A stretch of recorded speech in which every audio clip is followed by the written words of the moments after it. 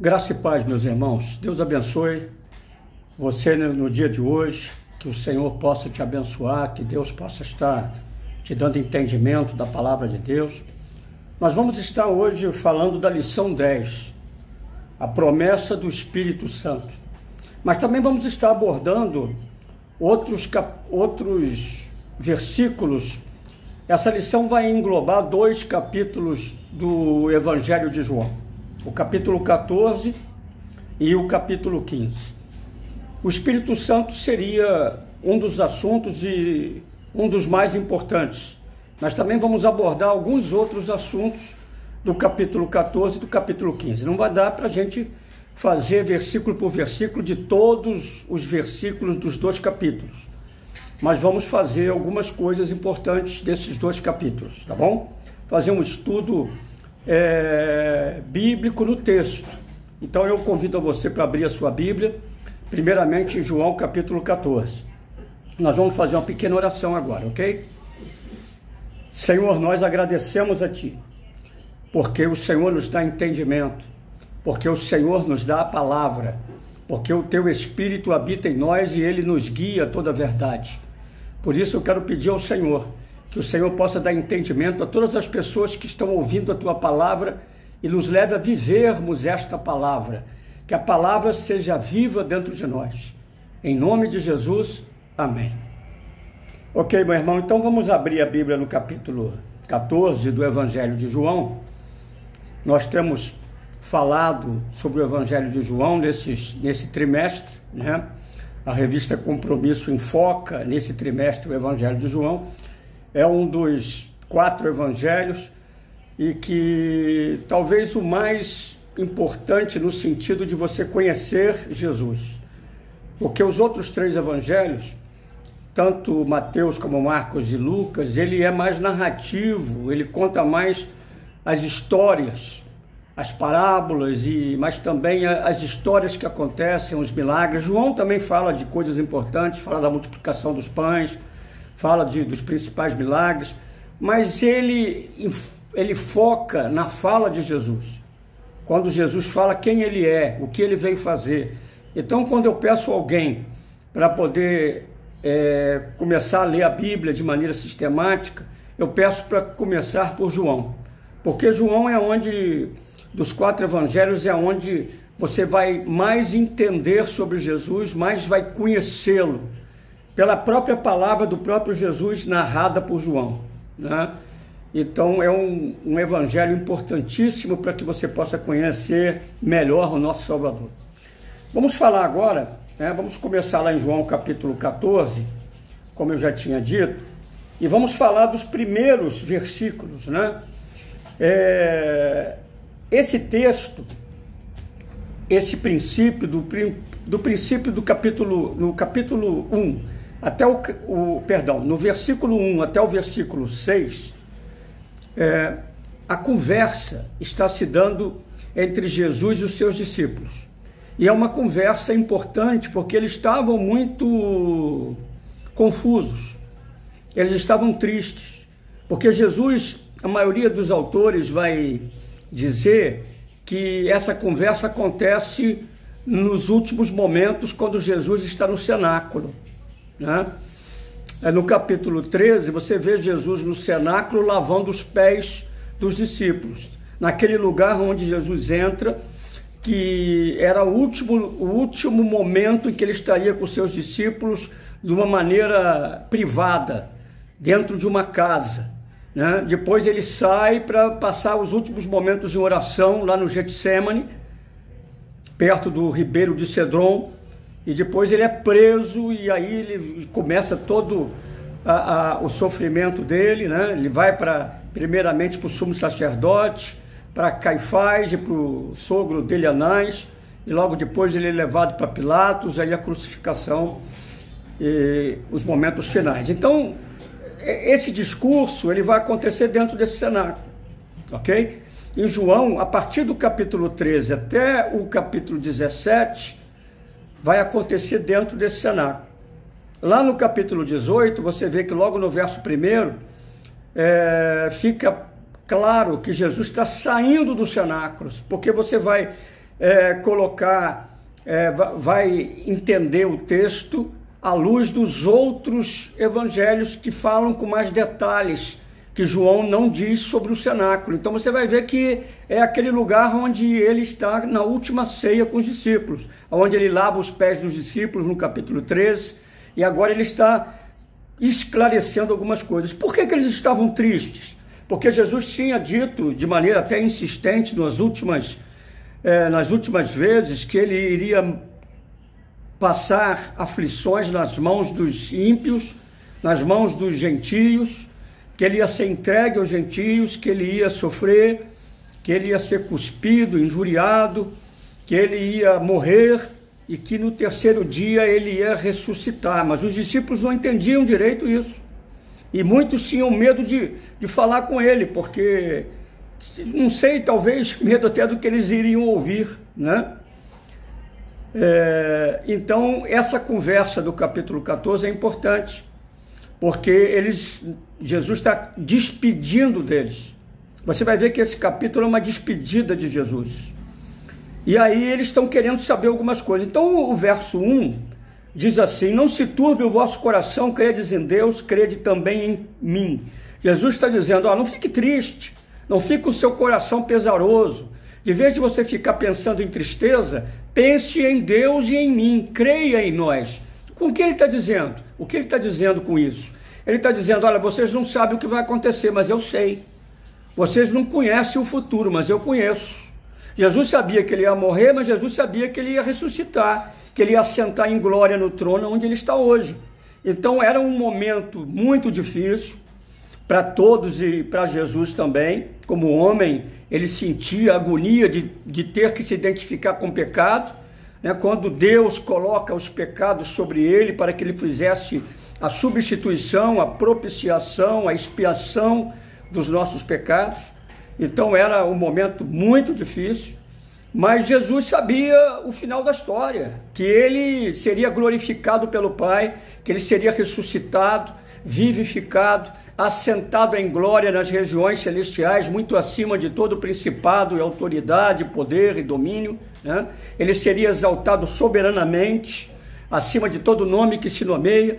Então, é, é, os discípulos não sabiam, mas ele sabia. Então ele fala: Olha, não fique com seu coração pesaroso. Aí ele vai dizer: Na casa de meu pai há muitas moradas. Se não fosse assim, eu vou teria dito, vou preparar-vos lugar. Então Jesus agora dá uma muda o foco para que eles pensem na questão espiritual. Eles sabiam que a casa do Pai era o céu. Eles sabiam disso. Eles sabiam que é, Jesus estava prometendo a eles é, a vida após a morte física. Ou seja, quando o corpo parasse de funcionar, Jesus estava falando que eles estão vivos, que o espírito não morreria nem a alma e que eles estariam com Jesus para sempre no céu, que Jesus prepararia o lugar. Aí vem o verso 3 e fala assim: Se eu for e vos preparar lugar, virei outra vez e vos tomarei para mim mesmo, para que onde eu estiver estejais vós também. E aí vem a pergunta: onde que Jesus foi para preparar lugar? Será que Jesus é, foi no céu preparar lugar, construir uma casa? Tem gente que pensa que Jesus foi preparar um lugar é, físico, até um lugar espiritual, nas, nos lugares espirituais, mas uma casa espiritual. Jesus não está dizendo disso. Isso.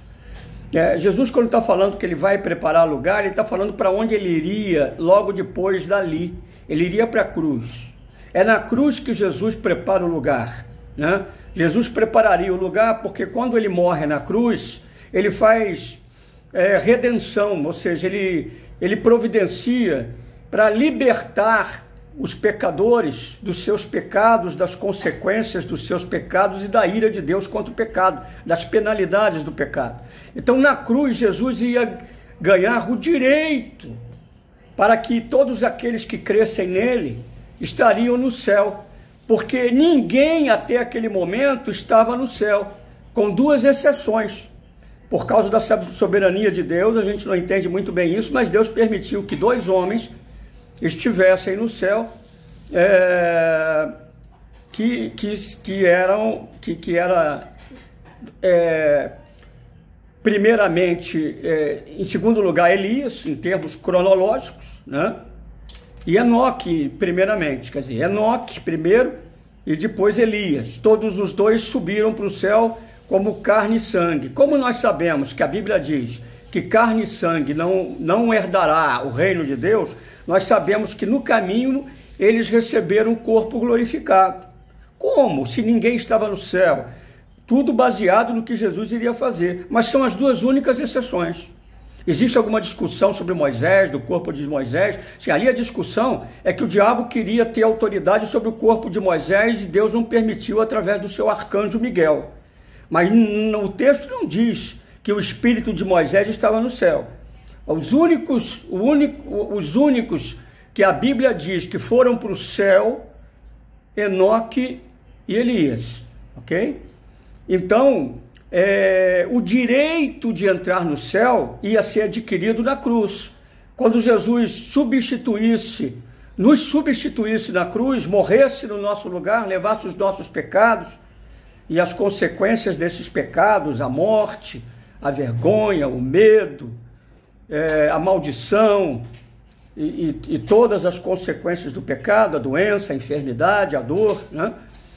E também as penalidades do pecado, a condenação eterna, a, a, o inferno, o lago de fogo, né? É, através da morte na cruz, ele nos garantiu que nós não iríamos sofrer as penalidades nem seríamos julgados. Por quê? Porque ele pagou o justo preço. Então, como ele tirou o nosso pecado, as consequências dele, a ira de Deus, agora nós poderíamos entrar no céu. Tanto é que todas as pessoas do Velho Testamento, com exceção desses dois homens que foram levados vivos para o céu, que eu falei para vocês, eles estavam no Sheol, na habitação dos mortos. Antigamente havia uma separação entre o inferno provisório, que é o Sheol, onde as almas dos injustos estão, e o, e, e o lugar onde Jesus denomina de seio de Abraão, aonde era uma separação do Sheol, onde havia, é, estavam as pessoas que confiaram em Deus e que estavam esperando a manifestação do Cristo. Quando Jesus ressuscita, todas as pessoas que estavam no Sheol, junto com Abraão, esperando Cristo, eles saem daquele lugar e vão para o céu. Né? Lá em Mateus capítulo 27, a Bíblia fala que é, várias é, houve um fenômeno de os mortos ressuscitarem em Jerusalém. Pessoas que estavam no túmulo há 400 anos, mil anos, ressuscitaram. Eles foram para onde? Foram para o céu, porque Jesus tinha preparado o lugar. Então, quando ele fala que ele vai preparar o lugar, ele vai construir casa. Ele vai preparar o direito de que eu e você pudéssemos estar no céu. Então ele estava preparando o direito dos discípulos entrarem no céu. Então quando ele fala, vou preparar lugar, eu vou para a cruz. Fazer expiação, propiciação e substituição por vocês. Vou redimir vocês pelo meu sangue, para que vocês ganhem o direito de entrar no céu. Ok? A morada, a casa, simboliza a família de Deus. Vocês vão estar onde Deus está, onde eu estarei com Deus. Então vocês vão estar onde eu estou. O céu é estar onde Deus está. Mesmo porque os cristãos não vão habitar no céu para sempre. Os cristãos vão estar é, onde Deus está, porque no, é, é, depois do julgamento, a terra vai ser renovada, Deus vai tirar o seu trono do céu, vai colocar na terra, na cidade da Nova Jerusalém, que vai descer do céu, o Cristo também vai colocar o seu trono no, aqui no, na terra, na, ao lado do trono do Pai, e ele vai sair da, do mundo espiritual e vai entrar no mundo físico e vai habitar aqui para sempre. E nós não vamos habitar no céu para sempre, nós vamos habitar no céu até o juízo e depois nós vamos habitar na terra renovada. Então o que é céu, né? O céu é onde Deus está.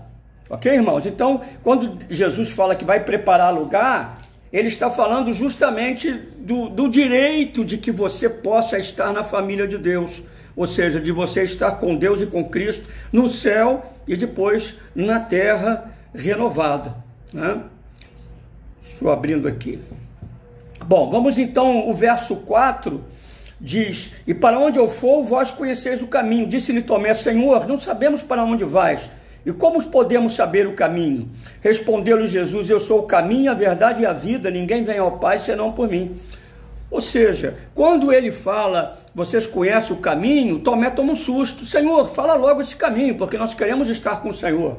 Nós queremos estar onde o Senhor está. Então me diz por onde o Senhor vai, para que nós possamos traçar esse caminho depois. E Jesus fala: Vocês conhecem o caminho. E, e Tomé e os outros discípulos não entendem nada. Até que ele fala: Eu sou o caminho e a verdade e a vida. Ninguém vem ao Pai senão por mim. Você repare que ele não fala ninguém vai ao Pai, mas ninguém vem ao Pai, porque Jesus sempre esteve com o Pai. Né? Porque é, é, é, é fato que ele iria vencer a morte, iria passar pela morte, que Deus ressuscitaria ele, que ele estaria com o Pai para sempre. Então ele fala: ninguém vem ao Pai, porque Jesus está com o Pai sempre, o Pai está nele sempre.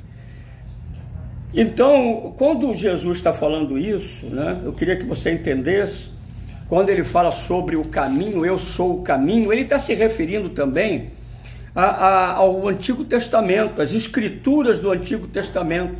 Porque o Antigo Testamento fala muitas vezes que o povo de Deus tinha que trilhar o caminho e tinha que andar pelo caminho, porque andando no bom caminho, no caminho que Deus preparou, ou seja, no caminho de retidão, no caminho da palavra, no, que, no caminho das escrituras, no caminho da obediência, né, nós conseguiríamos estar com o Pai para sempre. Então eu vou te dizer um dos textos, quando Jesus fala eu sou o caminho, ele está se referindo aos textos bíblicos do Antigo Testamento que os discípulos, como judeus, bem conheciam, ok? para nós, talvez, nós gentios, que não tínhamos é, é, conhecimento das escrituras judaicas naquele tempo, né? os gentios não conheciam, só os judeus, das escrituras do Antigo Testamento, havia perplexidade maior. Mas para os discípulos, quando ele fala eu sou o caminho, eles tinham uma ideia. O que, que é o caminho no Antigo Testamento? É o caminho que Deus dava para o seu povo andar. Então, eu vou, te, vou ler uma escritura para você, Deuteronômio capítulo 5, verso 32 e 33. Se você quiser abrir a tua Bíblia, pode abrir Deuteronômio 5, verso 32 e 33, mas já deixa marcado que nós vamos voltar para João capítulo 14, ok? Então diz assim o texto, Deuteronômio 5, 32 e 33: Olhai, pois, que façais como vos ordenou o Senhor vosso Deus. Não vos desviareis nem para a direita nem para a esquerda, andareis em todo o caminho que vos ordenou o Senhor vosso Deus, para que vivais e bem vos suceda. Ou seja, qual era o caminho? O caminho era o caminho de retidão da palavra, o caminho da obediência, de viver conforme Deus queria que o povo vivesse uma vida de obediência a Ele, uma vida de amor a Ele, uma vida de obediência à palavra. Esse era o caminho. Outras escrituras, como Isaías 30, 21, Isaías 35, 8, Salmo 27, 11, fala desse caminho. Então, quando ele fala, eu sou o caminho, embora os discípulos não soubessem completamente, eles tinham uma noção. Ora, eu sou o caminho que as escrituras do Antigo Testamento revelaram para vocês. Ou seja, se vocês querem andar no caminho de Deus, andem em mim, creiam em mim, é, ouçam a minha palavra, permaneçam na minha palavra, creiam na minha palavra, cumpram a minha palavra, porque quem estiver em mim, esse está andando no caminho. Maravilha, né? Quando você está em Jesus, obedecendo a Ele com auxílio do Espírito Santo, você vai estar no caminho, porque Ele é o próprio caminho. Se você andar nele, se você ouvir a voz dele, você estará no caminho, porque Ele é o próprio caminho de Deus para chegar onde que Deus quer que você chegue, ou seja, na presença dele. E aí ele vai falar, ele não fala eu sou um caminho. O artigo é artigo definido, que mostra um caminho só. Eu sou o caminho, ou seja, o único caminho, não tem outro. Não existe outro, não existe possibilidade através de uma outra religião, ou de outro conhecimento, é, de outra pessoa, de outro profeta, de outro Cristo. Não, só existe um nome que é mediador entre Deus e os homens, que faz mediação, que está no meio, que intercede, que é o único canal, que é a única porta pela qual você entra no céu, para, pela qual você entra em Deus, que é Jesus Cristo. Eu sou o caminho. Ele fala, eu sou a vida. Né? Eu sou o caminho e a verdade e a vida. Primeiro vem a verdade, ou seja, você andando nele, ouvindo a palavra dele, permanecendo na palavra dele, você vai encontrar é, a, verdade, a, a, a verdade. Né? Qual é a verdade? A verdade é o próprio Jesus. Ele fala: Eu sou a verdade. Como assim? A gente, é, o Antigo Testamento mostrava que a verdade era a palavra de Deus. Jesus também fala isso. Vai falar, é, é, é logo depois que ele faz esse discurso, no capítulo 17, ele vai falar né, sobre é, é, santifique, Pai, santifica os meus discípulos na verdade, a tua palavra é a verdade. Quer dizer, o judeu sabia que a palavra de Deus era verdadeira. Então ele está dizendo: Eu sou a palavra viva, eu sou a palavra que anda. Ou seja, quem é Jesus? Jesus é a palavra que se encarnou, a palavra encarnada.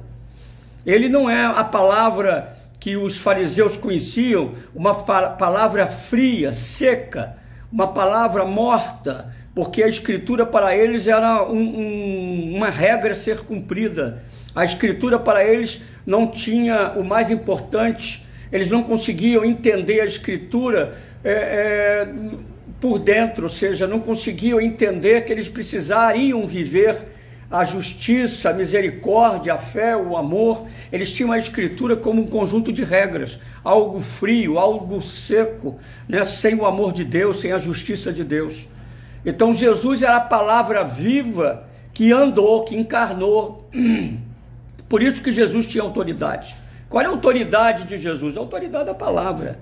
Ele era o que ele falava. Ele falava o que ele era. Ok, meus irmãos?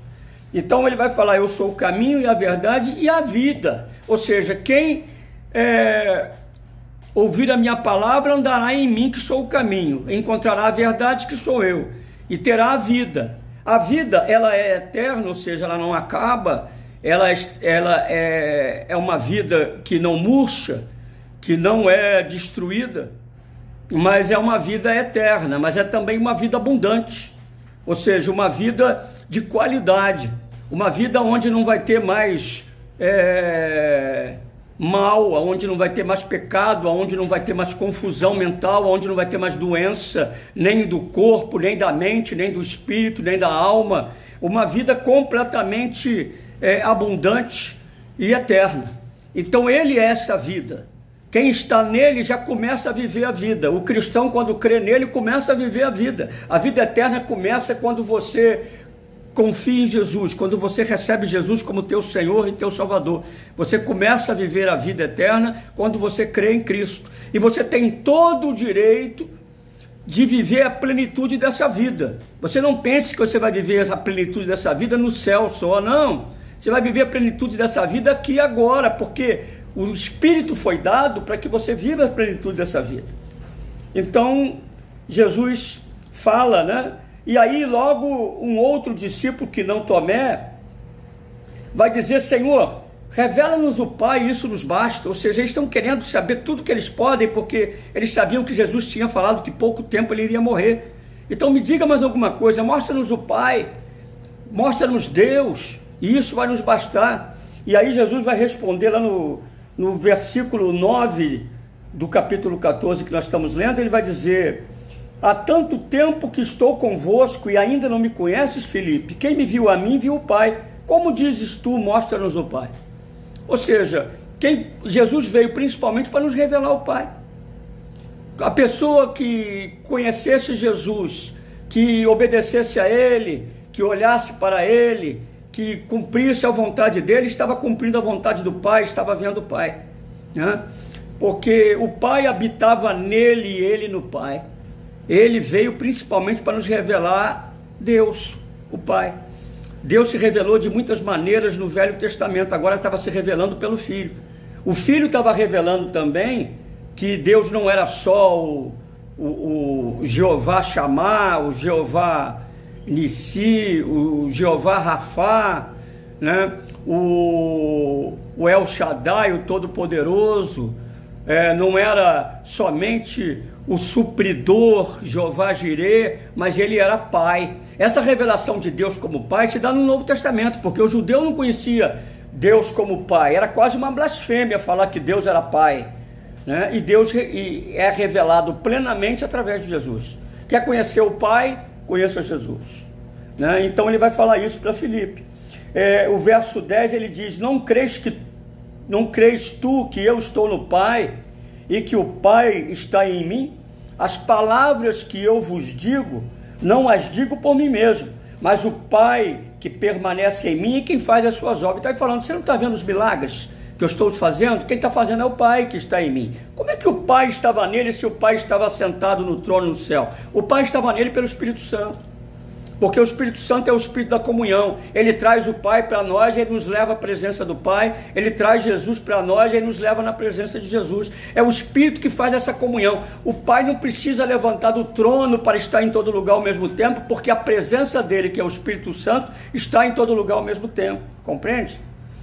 O verso 11 ele vai dizer: crede-me que eu estou no Pai e que o Pai está em mim, crede ao menos por causa das mesmas obras. Ou seja, se você não consegue crer em mim pelas palavras que eu digo, pelas palavras que eu estou dizendo, que eu sou o Cristo, que eu sou o Messias, que eu vou morrer no lugar de vocês, que eu vou dar vida para vocês através de mim, então creiam nas, nos milagres, porque os milagres que eu faço ninguém jamais fez. Ninguém ressuscitou mortos, ninguém ressuscitou um morto de quatro dias. Elias tinha ressuscitado morto pelo poder de Deus, mas não com morto de quatro dias.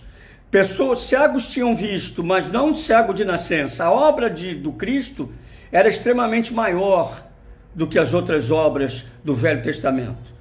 Por isso que ele estava dizendo: Eu sou superior a tudo, a tudo que você já viu. Eu sou o próprio Deus encarnado. Eu sou o Deus que estava escondido e que agora está revelado. O Pai está se revelando através de mim. Entende? Então, irmãos, a partir do verso 12, ele vai falar também uma coisa muito importante para a igreja. Ele diz: Em verdade, em verdade vos digo que aquele que crê em mim, esse também fará as obras que eu faço, e as fará maiores do que estas, porque eu vou para o Pai. E tudo quanto pedirdes em meu nome, eu farei, para que o Pai seja glorificado no Filho. Se me pedirdes alguma coisa em meu nome, eu a farei. O que, que ele está dizendo? Ele está dizendo que, que enquanto ele estava aqui nessa terra, ele estava humilhado no corpo, ele estava restrito ao corpo. Mas agora, quando ele morresse e ressuscitasse pelo poder do Pai, o Pai o colocaria no lugar mais de mais excelência, de maior altura, de maior governo, um lugar inatingível por qualquer outro governo, um lugar que não estava ameaçado a nenhum outro poder, um lugar de governo supremo, e que ele estaria governando para sempre, que ninguém ameaçaria o seu governo. Ele teria poder sobre todas as coisas, como ele vai dizer lá em Mateus capítulo 28, foi-me dada toda a autoridade nos céus e na terra, no mundo espiritual e no mundo físico. Compreende? Então ele está dizendo: eu vou para o céu, eu vou lá para o poder, não vou estar mais restrito a este corpo físico. Eu vou ganhar sim um corpo, é, um corpo é, glorificado. Jesus tem um corpo glorificado. Jesus não está no céu em espírito, ele está no céu com o seu corpo glorificado, espírito, alma e corpo, ok? Então, irmãos, agora ele fala: Eu vou ter o poder sobre todas as coisas. E ele iria ganhar uma promessa que o pai tinha falado, que era o dom do espírito. Como assim? Não tinha um espírito? Tinha, claro. Ele é Deus. Mas estava dizendo que ele ia ganhar o poder para dar o espírito para os seus servos. E através do espírito que habitaria é, em todo aquele que cresce em Jesus, em todo filho de Deus, o, cada um seria um pequeno Cristo. Cristão significa pequeno Cristo, ou seja, o Jesus Cristo estaria dentro de cada um de nós. Para fazer os milagres, para fazer a obra dele, para operar as maravilhas, para que através da vida de cada cristão cheio do, cheio do Espírito Santo, as pessoas pudessem reconhecer que Jesus é o Cristo porque se você é cristão, se você serve ao Cristo, então as pessoas olhariam para você através das tuas palavras, através do seu procedimento, através dos milagres, e você, é, eles, eles acabariam se sujeitando a Jesus. Porque se vocês servem a Jesus, então eles também gostariam de servir, também gostariam de ser filhos, por causa da sua vida. Então os milagres que ele fez, você também faz. Você também faz. Né? Por quê? Porque agora ele está no lugar de mais alta autoridade e ele pode, através do Espírito Santo, fazer com que você faça tudo o que ele fez. Que coisa você vai fazer? Você vai destruir as obras do diabo. Assim como lá em 1 João, capítulo 3, verso 8, diz que Jesus se manifestou para destruir as obras do diabo. O que é destruir as obras do diabo?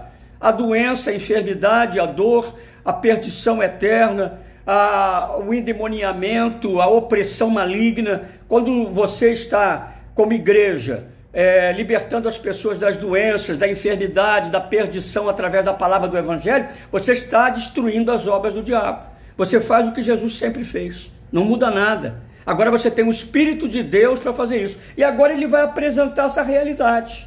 A partir do verso 16, ele vai dizer: Eu rogarei ao Pai, e ele vos dará outro ajudador, para que fique convosco para sempre. A palavra ajudador é paracleto, que quer dizer não só ajudador, mas é, benfeitor, auxiliador, conselheiro então, essa palavra paracleto é aquele que está ao lado para te ajudar no que você precisa.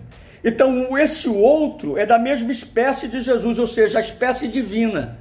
Jesus é Deus, mas o Espírito Santo também é Deus. Ele vai e o Espírito Santo vai vir, porque ele roga ao Pai e ele tem o direito de, de dar o dom do Espírito, assim como João Batista lá no princípio já falava: aquele que vem depois de mim, eu não sou digno nem de desatar as suas sandálias, porque ele vai batizar no Espírito Santo e em fogo.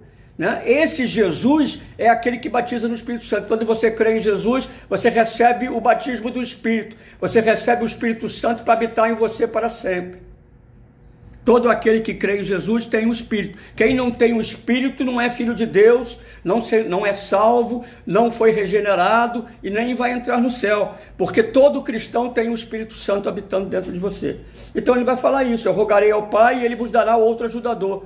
Ou seja, alguém que estará no lugar de Jesus, porque Jesus agora vai estar governando e o Espírito vai estar operando, vai estar fazendo tudo aquilo que Jesus e o Pai querem que se faça aqui na terra. Aí ele fala: a saber, o Espírito da Verdade, o qual o mundo não pode receber, porque não o vê nem o conhece. Mas vós o conheceis, porque ele habita convosco e estará em vós. Não vos deixarei órfãos, voltarei a vós. Nesse versículo, onde ele fala não vos deixarei órfãos, agora ele está falando do Espírito Santo. Primeiramente ele fala: Eu vou e vou voltar, ou seja, eu vou ressuscitar, eu vou estar com vocês de novo. Mas agora ele está falando no sentido do Espírito, ou seja, vocês vão ter a minha pessoa através do Espírito Santo que vai habitar dentro de vocês. Assim como o Espírito Santo habita em mim e eu, o Pai habita em mim através do Espírito, agora o Espírito vai habitar em vocês também. E eu vou habitar em vocês e o Pai também vai habitar em vocês. Entenderam, meus irmãos? Então, o Espírito Santo é anunciado nesse contexto, ok? É, vamos falar rapidamente, um pouquinho, mais dois minutinhos. Não quero passar muito do horário, mas dois minutinhos. Eu quero falar sobre a videira verdadeira no capítulo 15, do verso 1, né? Até o verso até o verso 8 e depois um pouquinho até o 16, ou seja, esse contexto aqui desses versículos, e ele vai falar que todo cristão está nele, e ele se coloca como uma videira. Ou seja, é todo o judeu conhecia o que era uma videira. Né? A videira era uma árvore muito conhecida, que dava uvas. Muito conhecida porque os judeus plantavam videiras. Eles tinham, eles tinham vinhedos.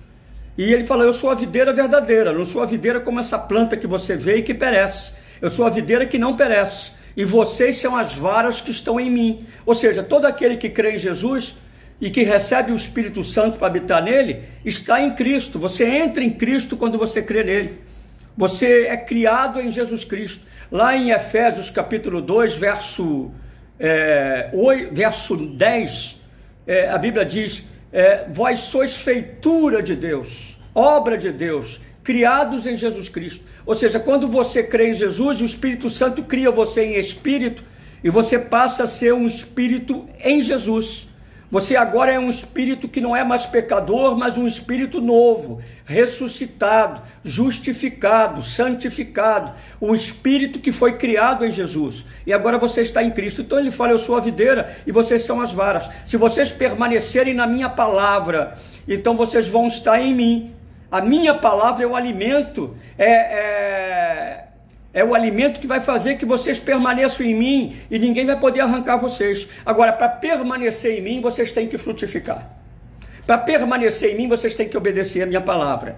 Porque quem tem o meu espírito, o espírito de Deus, o espírito de Jesus, o Espírito Santo, esse tem que fazer a minha vontade, porque o meu espírito sempre faz a vontade do Pai e a minha. É isso. Amém, meus irmãos?